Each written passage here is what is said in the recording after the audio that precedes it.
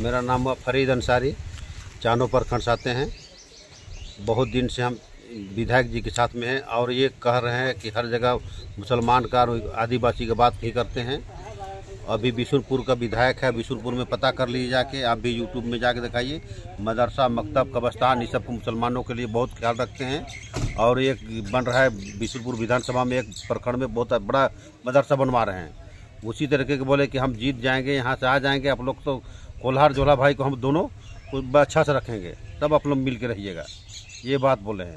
बिल्कुल सही है। यही हम लोग बाप दादा से कोला को मिलते आए हैं, कोला निभाते जोला हैं। थे। वैसे मिलते मिलते सब आ रहे हैं।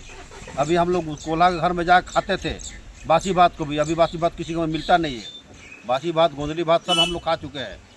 पूरा घर में। जीत जाएँगे। जितना गोलबंद अभी आदिवासी है इनके लिए ये अपना सरना कोर्ट के लिए मांग कर रहे हैं। अभी बहुत जगह से आदिवासी के साथ में अत्याचार हुआ है, उसको तो सब कोई जान रहे हैं।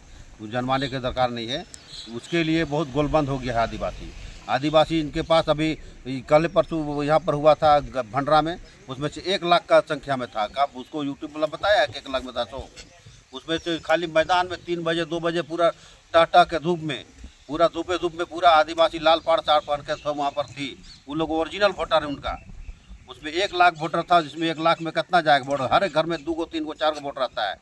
तीन, चार लाख आदिवासी वोट खाली, तीन लाख से ऊपर आ रहा है आदिवासी वोट।